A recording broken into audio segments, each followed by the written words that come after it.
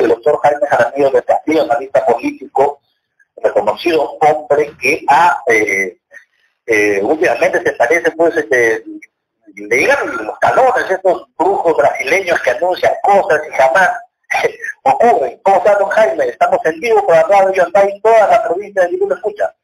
Eh, bueno, buenas tardes, mi estimado Daniel. Gracias por eh, permitirme conversar contigo y saludar a tu noble radio audiencia ahí en Virú, Región La Libertad. A tu disposición, eh, Daniel. de gobierno. Primero, esta situación de un eh, ministro que aparentemente estaba ahorrando su plata en Palacio de Gobierno, un encripado ahí que no hemos, eh, no lo hemos revisado muy a fondo también por estar acá con los temas locales. Pero ahora aparece eh, otro tema alrededor del nuevo secretario de Palacio de Gobierno. ¿Qué cosa está pasando, doctor Jaime Castillo? Bueno, lo que pasa es de que ha cometido un grave error el presidente de la República al meter a Palacio a Carlos Jaico como secretario general de Palacio de Ajá, secretario general. Ese es un gravísimo error. Lo conocemos a Jaico desde comienzo del siglo XXI. Él estaba como loquito por eh, sacar su partido llamado Cambia Perú Inclusive hizo pintas en Lima y en algunas partes del país. Pero como nadie le hizo caso, y él estaba desde España haciéndose el interesante y vendiendo la imagen de que era un sabio, un genio de la política, y, nadie se tragó ese cuento, pues este, comenzó a mendigar, así lo digo, a mendigar apoyo político. Por eso es que se fue hasta la presencia de un miserable buscavidas, como es el caso de Villarroel, Sacha, a quien lo conozco personalmente, cuando vino a Lima ¿ah? y se hospedó ahí en el Girón Rufino Torrico, en ese edificio de la antigua cooperativa, no me acuerdo, es un edificio donde iban todos los vagos de izquierda de Lima, se metían a ese edificio que está entre Rufino Torrico y La Colmena.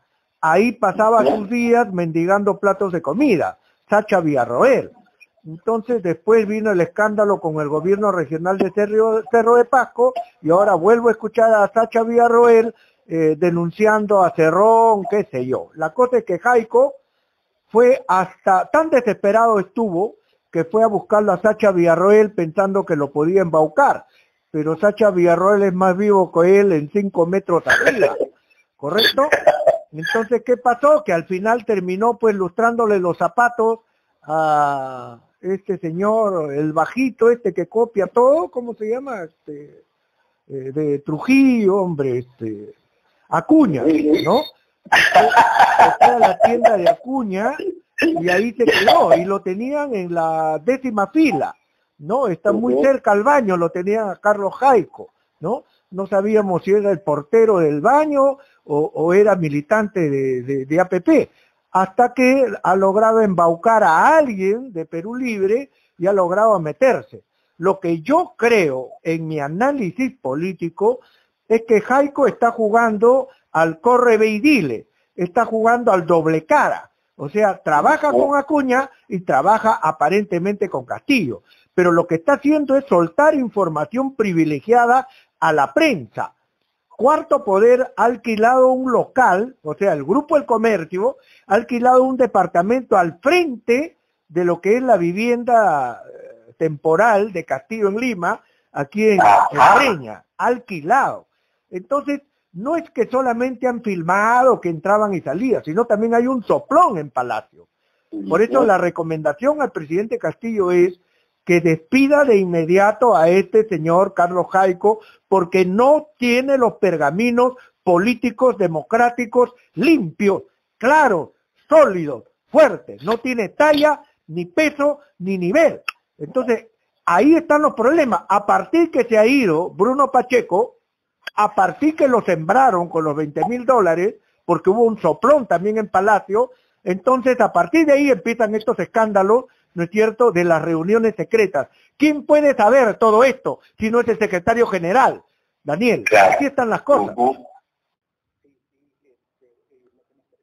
Don Jaime, es que la ultraderecha y Keiko Fujimori están dispuestos a todos con tal de ver caer de alguna forma eh, vigilando al centímetro, al milímetro al actual presidente de la República. O sea, a los problemas ya partidarios que tiene con la gente de Cerrón o con el propio Cerrón, tiene que lidiar ahora con una especie, al, al más estilo eh, de eh, que lo eh, de que resquebrajen ¿no? todo lo que él hace eh, y, pierda tiempo concentrado en ese tipo de cosas y pierda tiempo en, los temas realmente importantes que ahora están pendientes a nivel nacional, eh, como por ejemplo el tema de la segunda reforma agraria, que luego de anunciado con bombos y platillos y con mucha reflexión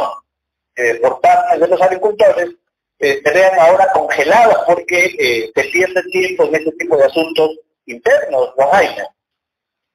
Sí, lo de la derecha y la ultraderecha, eso ya lo sabíamos. Ellos van a vacarlo sea como sea. Eh, en estos momentos hablemos de cifras frías.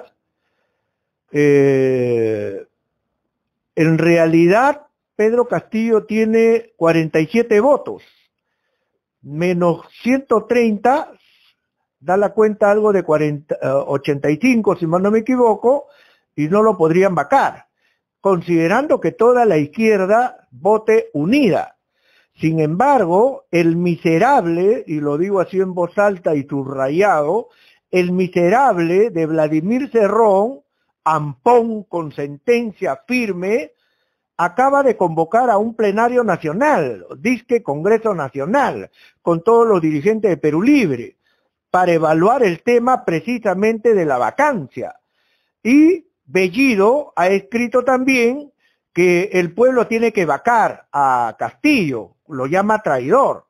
O sea, esa banda de los dinámicos del centro, esa banda de criminales disfrazados de políticos, están enloquecidos de ira e impotencia porque Castillo no los dejó delinquir en su gobierno. Entonces, como yo lo adelanté, Daniel, a las pocas semanas de juramentar el presidente de la República, no te olvides que yo dije que Vladimir Cerrón está conspirando contra Castillo. Todo el mundo me miró medio azorados, asombrados, no eh, eh, creían que yo estaba loco. Ahora está confirmado. Vladimir Cerrón quiere tumbarse a Castillo a como dé lugar y pactar con la derecha para librarse de los temas judiciales, mi estimado Daniel.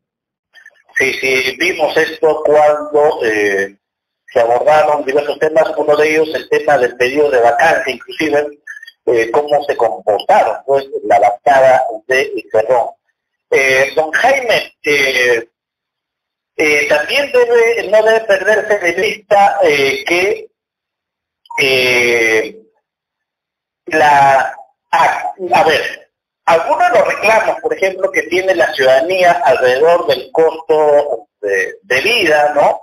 El incremento de productos de primera necesidad, el tema del gas, etcétera, ese es también un factor que ya se ha dicho, pero que no hay que dejarlo de ver. O sea, eh, hay un complot eh, económico también. O sea, eh, lamentablemente el país la política que ha tenido ha dejado la riqueza en monopolios eh, a favor de grandes capitalistas de ultraderecha. O sea, la, verdad es que el profesor Castillo está entre la espada y la pared. Esto de eh, la crisis económica, esas son pamplinas, Daniel. Las informaciones oficiales Empezando por el Banco Central de Reserva. Empezando por la medición de la CEPAL. Estuvo una autoridad de la CEPAL aquí en Lima. Empezando por la Secretaria de Estado norteamericano y otras instituciones políticas y económicas financieras serias, indican que Perú ha crecido 3% sobre el nivel prepandemia. Y además acabo de enviar una información que dice que hemos crecido en más de 1.600 millones de dólares en importaciones, Daniel. 1.600 millones de dólares, siendo Corea la principal fuente de envío de mercadería a Perú en celulares. O sea, acabo de estar en el centro de Lima esta semana, la semana pasada, y, hace, hace un mes he tenido varias gestiones en el centro de Lima, y Mesa Redonda y Gamarra y todos los centros comerciales revientan de gente, Daniel. Bulle de gente. Aquí no hay crisis económica. Los grupos de poder económico lo que están haciendo a través de sus medios es pintarnos la figura como que ya esto se está cayendo y no es así, Daniel. Todo es artificial. Castillo está muy bien manejando las riendas, las riendas en materia económica, comercial y financiera. Se ha aprobado el presupuesto general de la República con una, por unanimidad. Entonces, ¿de qué estamos hablando, Daniel? Definitivamente, ¿no? Eh, sí, lo decía un poco por, ejemplo, eh, algunos de los reclamos que tiene la población, por ejemplo, aquí en La Libertad, está alrededor del incremento de los eh, de los insumos agrícolas, ¿no? Que sabemos pues están amarañados, eh, no necesariamente el reclamo del pueblo va a ser que con una decisión eh, bajen el costo de estos productos, porque eh, lo que está haciendo un poco el gobierno es subvencionar, ¿no? Pero es una medida temporal. Sabemos que todas estas eh, riquezas, por decirlo de alguna forma, están en manos de grandes monopolios, ¿no? Entonces, un poco a, eso nos referíamos, don Jaime, cuando decíamos que estos señores que monopolizan, y manejan todo, también crean burbujas pues para que eh, se cierra sobre cuál, cuál es para Damocles, ¿no? Una situación insalvable, supuestamente, en contra del actual presidente de la República. Muy bien, muy bien que hayas mencionado eso, Daniel, porque la última entrevista que eh, tuve con tu programa, con tu sintonizado programa, fue precisamente cuando estábamos comentando sobre un paro de ronderos que estaban reclamando precisamente por el insumo, dentro de los muchos reclamos, era el insumo de los abonos.